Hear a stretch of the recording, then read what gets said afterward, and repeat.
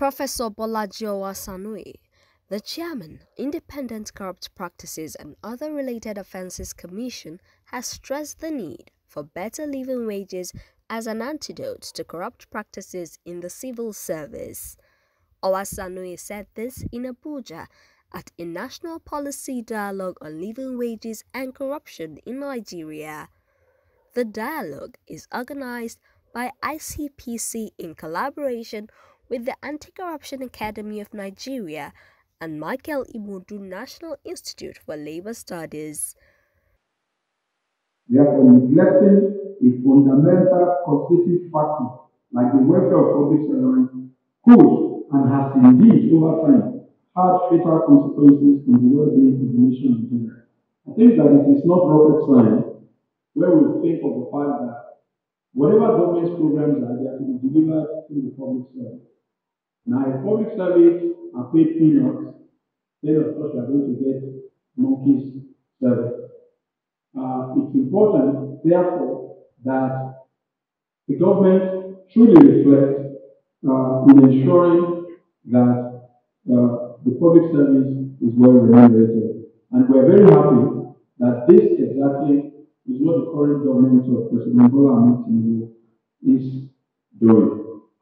Research shows that widespread corruption in the public service creates corruption, enabling social norms that make public servants and citizens normalize the expectation and the acceptance of bribes while carrying out their statutory duties.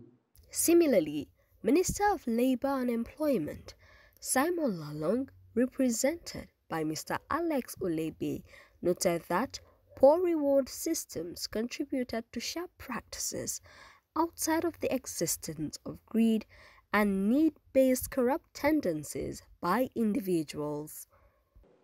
As you are all aware, pure, uh, poor reward system contributes to sharp practices outside of existence of greed and need-based corruptive tendencies by individuals.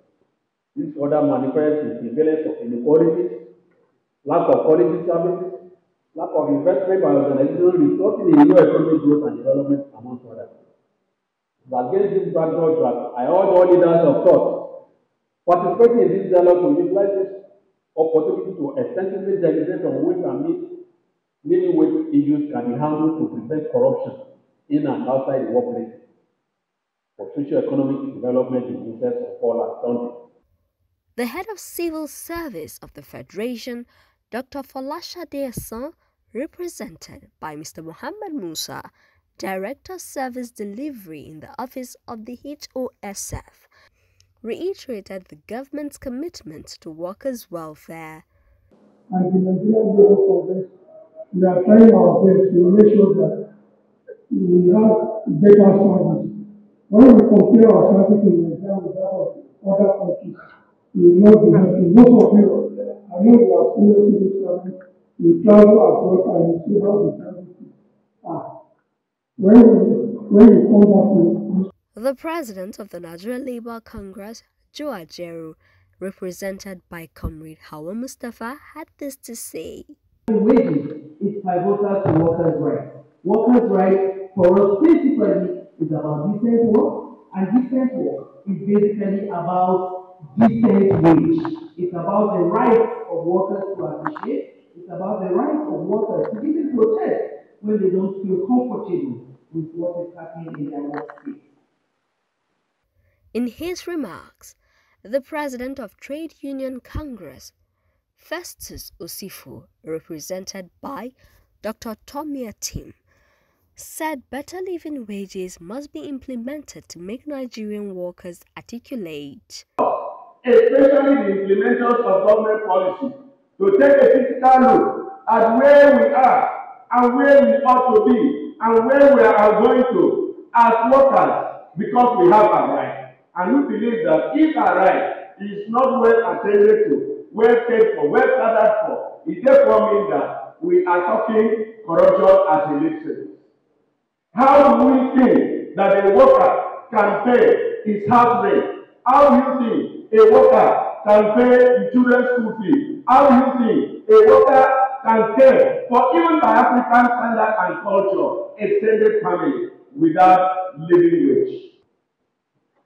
Your Excellencies, I want to plead for us to make Nigerian workers very articulate and productive. The living wage is very important. Also, Dafe Otobo, a professor of industrial relations, in a keynote address, called for adequate remuneration for public servants to ensure their commitment to service. To give workers and their families the means to maintain a decent standard of living by affording the word affording housing, healthcare, food, education, transport mobility, and other basic necessities. Now, they have arguments over the decades as to the usefulness of given wage. For those in favor, the benefits in companies, whether public or private, because some of the load is taken over from their shoulder by the state, whether at the federal, state, or local government level. But it reduces corporate turnover. Employees are more, what have you done? This is the opportunity.